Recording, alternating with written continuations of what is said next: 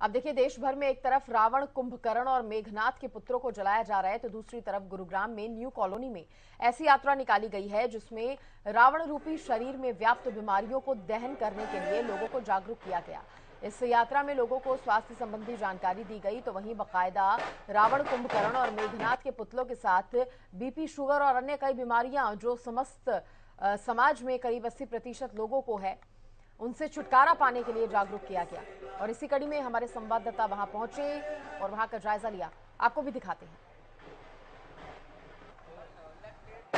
देश भर में आज विजय दशमी की धूम है और देश भर में अलग अलग कार्यक्रम का आयोजन किया गया आज के दिन भगवान श्री राम ने रावण का वध किया था और देश भर में अलग अलग कार्यक्रम किए गए और इस समय मैं मौजूद हूँ गुरुग्राम के न्यू कॉलोनी मोड़, जहाँ आप देख सकते हैं कि एक भव्य जो शोभा यात्रा है वो निकाली जा रही है और एक अलग तरीके से, क्योंकि जिस तरीके से लगातार आपने देखा होगा कि जो राम, लक्ष्मण और सीता हनुमान की झांकी होती है, साथ में तमाम जो राम दरबार में लोग मौजूद होते हैं, उनकी झांकी होती है। लेकिन आज गुरुग्राम में एक अनोखी है जो शोभा यात्रा निकाली जा रही है, जिसमें कि लोगों को बीमारियों के प्रति जागरूक किया जा रहा है। वो चाहे बीपी हो शुगर हो थायराइड हो, और इसी में आप देख सकते हैं तमाम जो लोग हैं, आप देख सकते हैं कि अलग अलग जो पोस्टर हैं वो लगाए हुए हैं, जिस तरीके से फेस कवर करके बीपी अलग अलग जो बीमारियों के प्रति लोगों को आज गुरुग्राम में जागरूक कर रहे हैं और इसी के चलते तमाम जो लोग हैं, यहाँ मौजूद हैं, लोगों को साथ ही साथ जिस तरीके से लगातार बीपी शुगर या फिर अन्य जो बीमारियाँ हैं,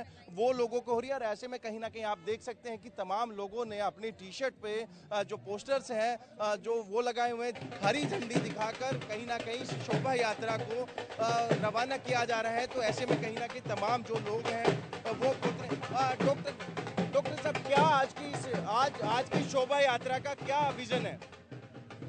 देखिए, हमारी शोभा यात्रा का सीधा सा मकसद हमारे इस बोर्ड में है कि राक्षस रावण को, राक्षस रावण को श्री राम हज़ारों साल पहले मार चुके हैं।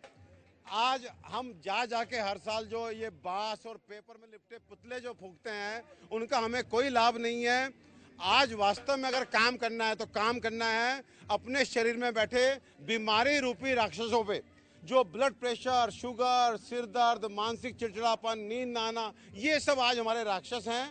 और आज राम जी, सीता जी, भगवान लक्ष्मण, हनुमान जी ये संदेश देना चाहते हैं जनमानस को कि अब आपको ब्रह्मास्त्र चलाने की आवश्यकता नहीं है।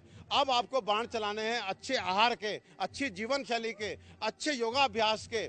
और आज बहुत बढ़िया बात यह है कि मैं एक चिकित्सक होने के नाते लोगों को एक पुस्तक डिस्ट्रीब्यूट कर रहा हूँ, निःशुल्क। दस हज़ार पुस्तकें हम डिस्ट्रीब्यूट कर रहे हैं और उसमें पचास होम रेमेडीज वो हैं जो बिल्कुल टेस्टेड रेमेडीज हैं। आपको पेट दर्द होता है, आपको सिर दर्द होता है, आपको उल्टी होती है, दस्त होते हैं तो आपको अब डॉक्टर के पास नहीं जाना।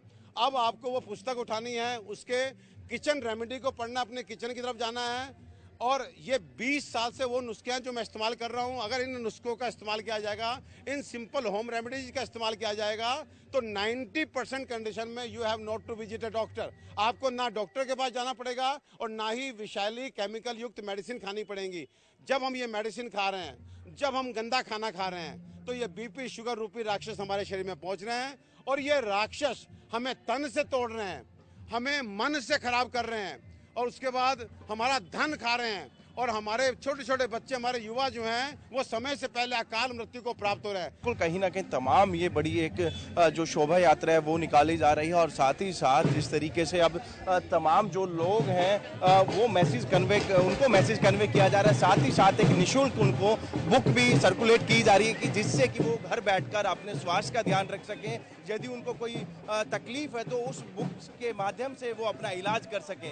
गुरुग्राम से कैमरामैन जगदीप के साथ संजय राठौर अंबाला के बराड़ा में विश्व का सबसे ऊँचा रावण का पुतला जलाया जाएगा, जिसकी ऊंचाई 125 फीट है। इस पुतले में इको फ्रेंडली पटाखों और आतिशबाजी का इस्तेमाल किया गया है, जिसमें बिल्कुल भी पॉल्यूशन नहीं होगा। आपको बता दें, इस पुतले का दहन रिमोट के ज़रिए किया जाएगा। रावण के इस ऊँचे पुतले को बनाने में डेढ़ महीने का समय लगा है और इसे क्रेन और जेसीबी की मदद से खड़ा किया गया। साथ ही ये भी बता दें कि इसको बनाने में दस लाख रुपए की लागत लगी है। ये इसकी जो ऊंचाई है 125 फीट है। और जो इसकी जहाँ तक खासियत का सवाल है, इसमें इको फ्रेंडली क्रैकर्स का इस्तेमाल किया गया है और रिमोट कंट्रोल के द्वारा इसका दहन किया जाएगा। इसमें डेढ़ महीने का टाइम लगा है और 20 आदमियों की टीम मेरी इसमें दिन रात लगी रही और खर्च इसमें 10 लाख रुपए के करीब इस पे बनाने में इसका खर्च आया है।